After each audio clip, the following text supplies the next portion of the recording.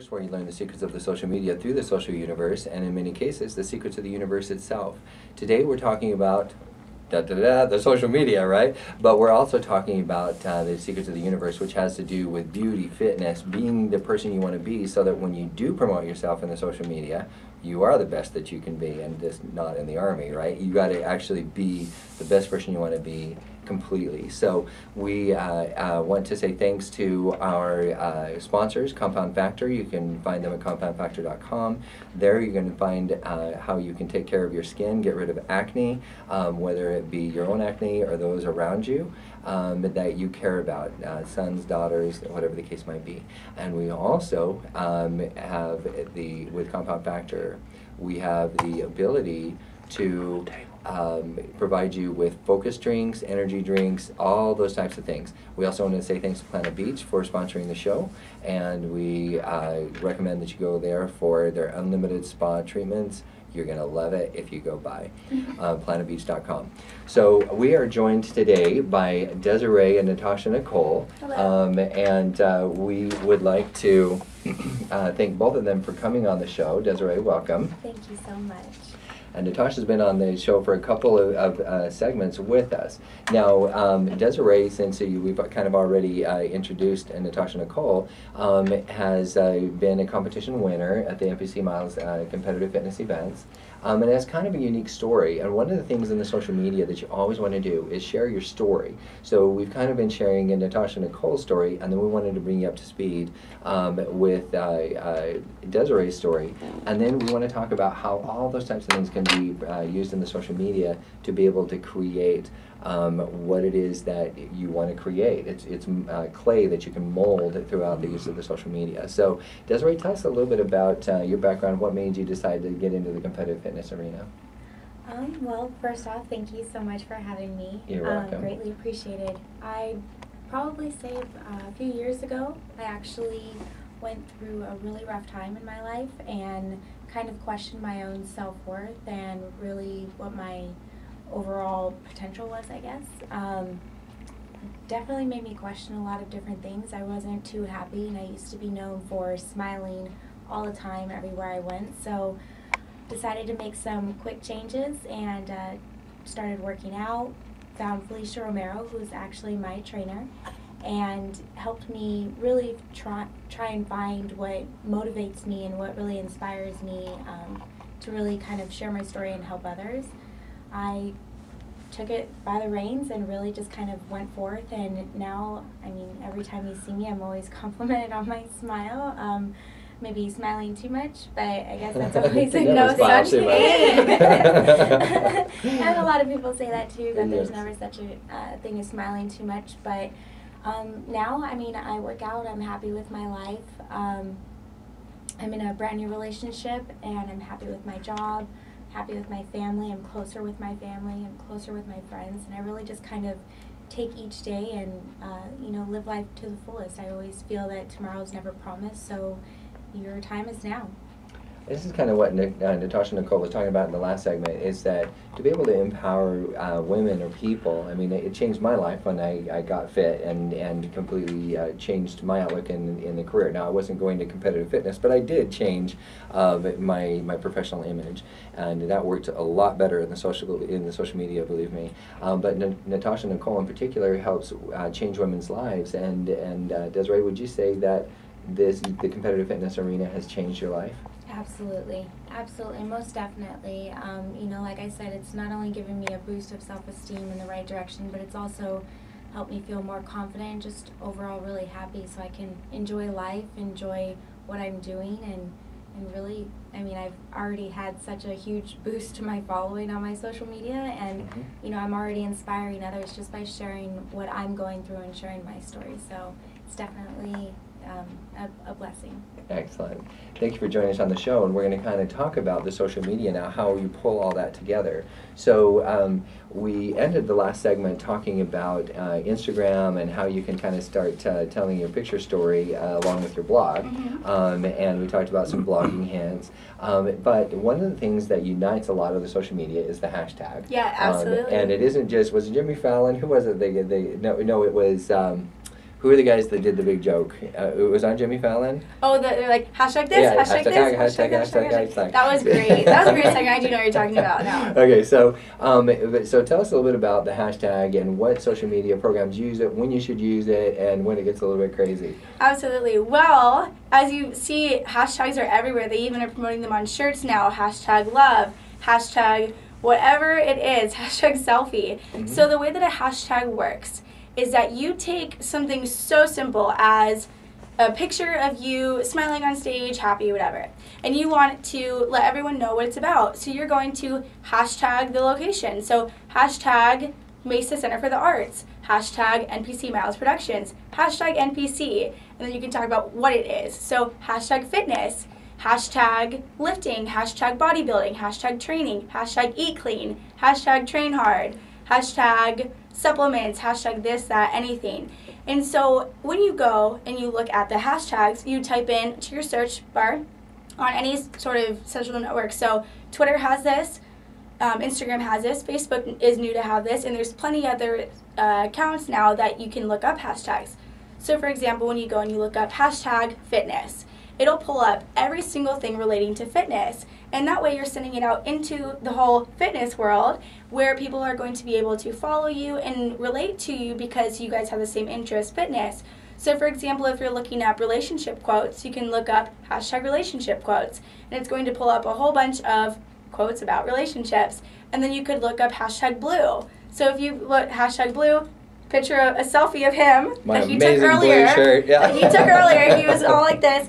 Um, would be hashtag blue, or this sign you could write hashtag blue, or even eye color hashtag blue. So it's as simple as talking about a minor thing that's in the picture or a major thing, and bringing it to that target market, which is very good also. Something that I do with my account is that when I'm looking for new clients, I simply tag hashtag weight loss motivation. Now, all the places you can put hashtag, that includes Twitter, that includes Facebook, Instagram. What are some other really Um, I put them on my blog too because there's a little like uh, hyperlink where it, Mhm. like Yeah, and it captures it. whatever. Yeah, it grabs you it. betcha. And so you can look up like uh, hashtag recipes or hashtag clean eating, hashtag avocados. You can look up a whole bunch of recipes that have the healthy fat avocado in there, and it's going to bring up everything that avocados have to do with. So it's as simple as, I mean, a lot of websites are really on board now with it because they are seeing that hashtags are the way to go, and people want to look for a particular thing. I think that there's going to be a broader thing like Google looking up hashtags. That's exactly where I was going. Is that the the one problem that social media has had? They always have had the sticky factor, which means that um, some, when somebody jumps on their social media, it's particularly in particular Facebook, they stay on for 45 minutes. When they're on Google, it's only six to seven minutes. Strangely enough, um, so the sticky factor is a lot stronger in the social media, but they have absolutely terrible um, uh, search engine capacity. So the hashtag is kind of becoming that very archaic but, but slowly developing uh, way to be able to search the internet for the keywords that you're looking for. Very interesting. Yeah. And it's a good thing too. I'm finding a lot of information on mine. Yeah, because I love competition in the marketplace. Google, in my opinion, is way too powerful. Facebook is way too lazy. So um, I think the two of them need to actually get uh, you know a big fight and get stronger, and, and I think it'd be a lot better. In my Let's make a hashtag.com. Yeah, let's That put a hashtag genius, compete huh? Google against uh, Facebook.com. Totally. All right, somebody, would you do that for us, please? So, um, We so- get 50 50 credit though. Yeah, yeah, correct. Make or sure maybe that even you put 9 yeah, we'll put us in the sub the sub notes on your hashtag. So that's what we're looking for. So um, now, what also is important um, in your own life as well as it will start showing up in your social media. So, for example, if you are um, if you're college age. I want you to take advice from Natasha Nicole because a lot of people float through their high school, they float through their college. They don't have a firm set of goals uh, and anything that they really believe in, and it shows when everything is just bottoms up. Uh, and, and now they decide, uh, you know, on their in their social media and their Instagrams, everything is you know hazy lick eyes, and they they they've been partying, partying, partying for their entire life. Now they want to get a job they you don't think the employer is going to actually take a look at that real quick. Whereas if you are like Natasha Nicole and you have a whole goal system set up, tell us about goals and and uh, uh, what your strategy is about setting goals. Let's see, goals. Well, something that I've always done poorly and very great on are deadlines. Mhm. And who likes deadlines? Pretty much nobody, right? Mhm. But what is good with a deadline is that it holds you very accountable for achieving whatever you have to do at that particular date. So, resulting back when I started my weight loss transformation, I wanted to be on stage on July 13th and I was going to do whatever it took to be there. So, I noticed that I was uh, motivated by eating clean because I knew the date like the deadline was coming up. I was motivated by killing my workouts because the deadline was coming up, things like that. So with goals, a lot of the things that I tell my clients are that hold yourself accountable for your date and make that the date of the anniversary of your new body. And so that's something that uh, definitely a huge secret and a good tip that I would give out is um, pick a date, go on a calendar, and you know find a date that works best for you or an upcoming show or some or even a friend's wedding or a big role that you're going to play in your life. And even you can go um, much smaller like schedule a photo shoot with a friend and say on you know september 1st i want to be the best version of myself. So on september 1st you're going to do whatever you can. On then you have the photo shoot booked and you'll have the pictures to show that you worked hard for september 1st so it's little things like that having goals and that's such a small spectrum now with big goals you can be anything. And as my grandma told me when I was a very young girl, the first one of the first words she ever taught me was imagination. And if you can imagine it, if you can dream it, you can accomplish it. You can imagine the craziest things in the world and they're possible because there is a way to get to them. So here I am dreaming so big, super goal oriented, focused and determined to be who I want to be. I have achieved every single goal that I've set for myself along the way, and I'm hoping to have these far fetched goals somewhere in the future. I would like to achieve them, and I will achieve them because I'm goal oriented, I'm driven, and I want to be able to exactly like previous journeys, do whatever it takes to be at those goals. Absolutely. So, as an example, um, we were actually at an event that Natasha Nicole was at, um, and uh, she said, "Hey, can I do the wrap up?" And we said, "You know, do you want to have the you know the official talk show host with you?" No, I'm just fine. So she got grabbed the microphone and uh, she actually did the the entire wrap up. Did a beautiful job with it uh, without me even there, which was kind of fun. First time, so it was awesome. We're like, yeah, yeah, that's it. We got to bring you on the show. so, um, but out of that is uh, uh, you can look forward to uh, a, a very high potential of a media club getting established at the U of A that um, that Natasha Nicole will be creating. So just there's all kinds of things that Mhm. that are, that come out of, of these experiences. So now Desiree, tell us a little bit about that. I know you're probably burning to tell us, you know, the date when you did set the, the date for your new body and Yes. decided, you know, this is the birth of my new body. What what was that experience like for you? Um, life changing. Um, Mhm. I had set the date. It was three months out when I made the decision to actually compete, and three months seemed very short. Um, you look at other competitors. Some of them have, especially the ones with their pro cards. Some of them have been training for year um, and and then some. So three months definitely seemed like a short goal, but um, my trainer had total support in me and total belief, and so did my family, um, my boyfriend, and my close friends. So I took a breath, sucked it up, and went for it. Um, soon as I did, I, you know, I, I ate clean the entire time. I stayed focused on what I needed to do in the gym. And as soon as that date was coming up, it was a week away, and I know I was just, I'm uh, crazy oriented, and I got a paper and wrote down every appointment that I needed to do for my hair, my tan, my makeup, the jewelry, the shoes, everything. Um, crossed everything off as I made my way through the list, and then the list was done, and I had like five days to do nothing, and I didn't know what to do. I was going crazy. Um, but as soon as it was there, um, my mom, she's my biggest supporter. She actually um, gave me the bracelet I'm wearing. It says "Believe in Yourself," oh, that's great. and um, I carry it with me all the time.